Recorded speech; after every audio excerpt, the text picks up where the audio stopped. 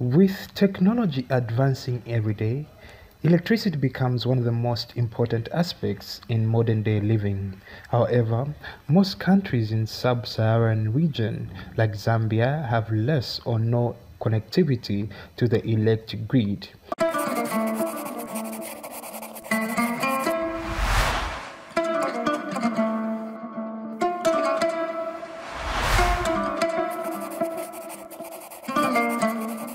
Hence, the Rural Electrification Authority has been on the grassroots to power up rural areas in Zambia. According to DT Global, only 5% of the rural population has access to electricity in the southern African country.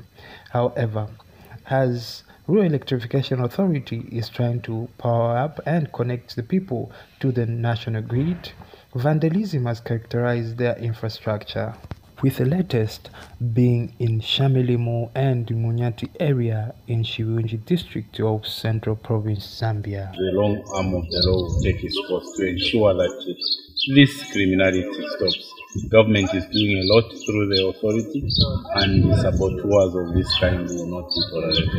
So continue working with communities and obviously the police to just make sure that this vandalism comes to an end. Residents have bemoaned the vice, saying it will halt development in the area. Wani pa kliniki pafunika malaiti? Kai ban- bantu bamadola na usiku. So pafunika malaiti pa sikulu pafunika malaiti.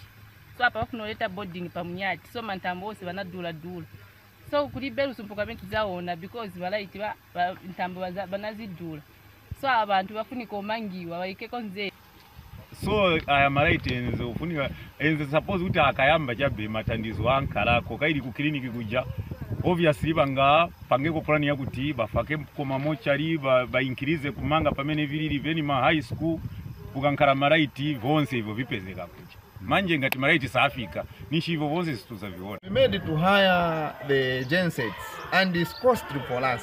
Imagine at the moment we are saying about 22 kwacha, 23 kwacha petrol per liter.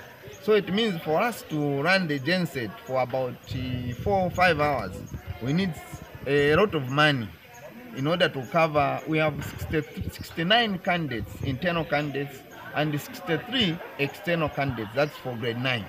Now imagine that number for it to be covered with the, a few computers that can run using the genset.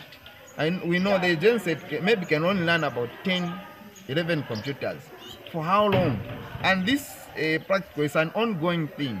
It's, there is no sun for today. There is no learning computer studies.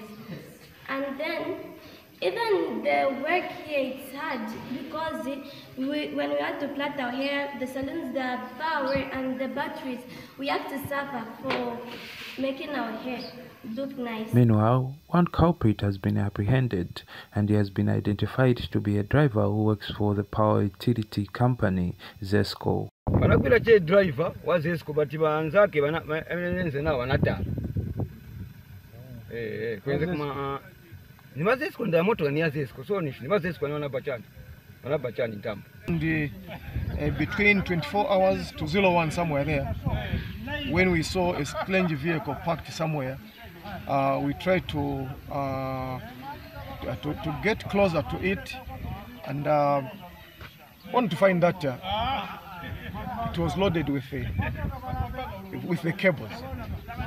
They, that's how we we manhandled the driver, got the keys of the car, there were five actual of them.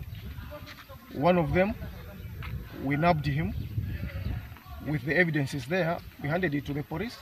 The headman also gave a stern warning to all the vandals. Let me just tell the, the general public, those perpetrators who think maybe they can continue with this vandalism, we are very much eh, on alert. And uh, this area, I, I would say, it is a no-go area for vandalism.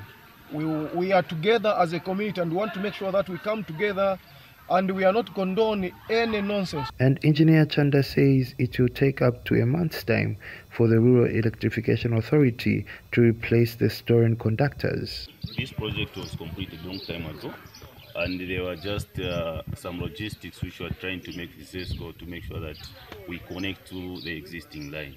I think in uh, in a month's time, we should be able to repair the line work as well as engage the score so that we connect with people and start benefiting.